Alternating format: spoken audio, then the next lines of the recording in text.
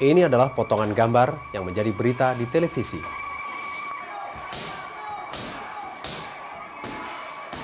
Bayangkan bagaimana menuturkan kejadian ini tanpa gambar-gambar itu. Penonton Anda berharap dapat melihat kejadian ini. Stasiun TV saingan Anda mungkin memilikinya dan penonton Anda dapat saja memindahkan saluran TV-nya. Cara paling baik agar Anda yakin bisa memperoleh gambar semacam ini adalah dengan menjaga hubungan dengan pusat-pusat layanan gawat darurat.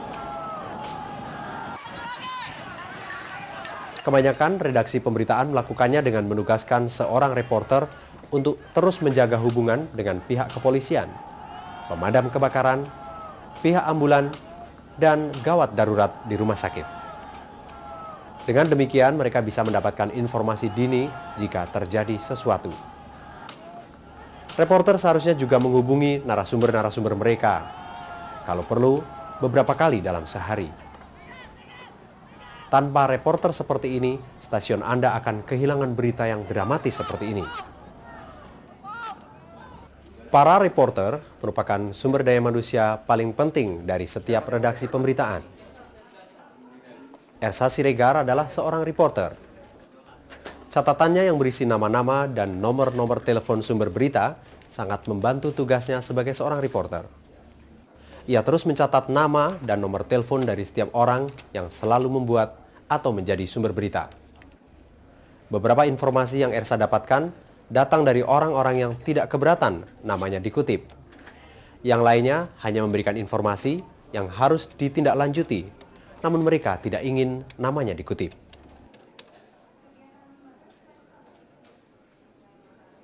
Ersa harus melindungi sumber-sumbernya ini jika ia ingin terus bisa mendapatkan informasi dari mereka. Bila mereka menyatakan informasi ini off the record, maka ia harus menghormatinya dan hal ini tidak bisa dikompromikan. Apa kabar nih Pak Abil? Sehat-sehat aja Pak. Sehat-sehat aja. Iya Pak, ini gimana situasinya ini? Saya dengar udah nggak dipansus lagi Pak Abil. Orang-orang yang terlibat dalam politik adalah juga sumber berita yang bagus. Pemerintah membuat suatu keputusan yang mempengaruhi kehidupan pemirsa. Jadi, Ersa Siregar perlu menghubungi sumbernya untuk memastikan bahwa ialah yang pertama mendengar sebuah informasi baru. Politisi di Indonesia saat ini sangat bergantung kepada para pemilihnya.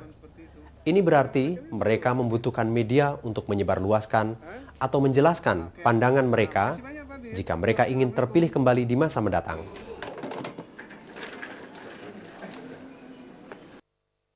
Ersa harus memastikan bahwa hanya berita yang memiliki legitimasi saja yang akan dia siarkan dan bukan sesuatu yang bersifat retorika. Ia juga tetap menjaga hubungan dengan para politisi oposisi Biasanya mereka akan memberikan komentar dan penjelasan tentang mengapa keputusan pemerintah itu tidak baik bagi negeri ini. Masyarakatlah yang akan menilai dan memberikan dukungan atas pendapat ini. Beberapa informasi yang diterima Ersa adalah mengenai kejadian atau acara yang akan berlangsung beberapa hari mendatang. Informasi ini dia tulis dalam buku catatan semacam news diary sehingga jika pada waktu itu ia tengah cuti atau tidak bertugas, awak redaksi akan tahu tentang ini. Gagasan cerita kadang-kadang juga bisa datang dari surat-surat yang dikirim ke meja redaksi. Siaran pers dan undangan biasanya dikirim oleh perusahaan, kelompok-kelompok penekan, pemerintah, dan penguasa setempat, atau organisasi, dan siapa pun yang menginginkan pesannya sampai kepada publik. Meskipun semua ini merupakan sumber berita yang bernilai, namun redaksi haruslah berhati-hati untuk memilih mana berita yang benar-benar relevan dan bukan sekedar sebuah publikasi gratis.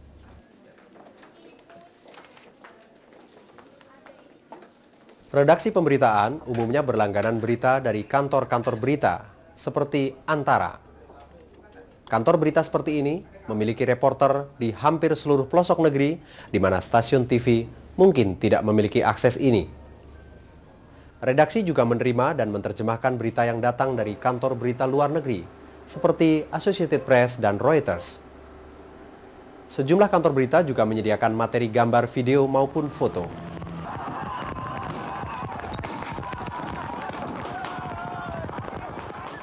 Internet dapat membantu meringankan kerja reporter. Internet membantu mereka mendapatkan informasi dari situs-situs yang ada di seluruh dunia. Situs seperti Detikcom, misalnya, menyediakan berita dalam dan luar negeri. Perusahaan maupun perorangan dapat mengakses informasi dari internet yang bisa jadi sangat bernilai sebagai alat riset.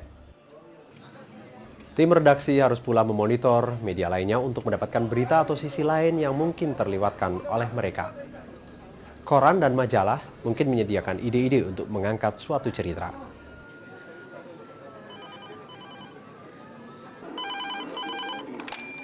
Selamat siang, redaksi. Ya. Informasi dini untuk bahan berita atau biasa disebut tip-offs dapat berasal dari penelpon yang menginginkan suatu masalah diangkat sebagai berita. Oke, ha? Mereka ini bisa saja seorang saksi mata atas suatu kejadian. Jadi sedapat mungkin koreklah informasi yang lebih rinci dari penelpon ini. Oke. Iya. Bisa jadi Anda perlu mewawancarainya. Tipos dapat juga dari wartawan lepas atau freelancer. Mereka ini umumnya bekerja untuk sejumlah media. Mereka dapat menyediakan suatu cerita untuk stasiun TV maupun radio. Mereka juga bisa didayagunakan untuk mengisi kekosongan reporter yang tengah bertugas di tempat yang jauh. Beberapa sumber berita lebih dapat dipercaya ketimbang yang lainnya. Karena itu sangat baik untuk memeriksa semua cerita dengan menggunakan pandangan paling tidak dari dua narasumber. Ini akan membuatnya lebih berpeluang untuk menjadi informasi yang benar.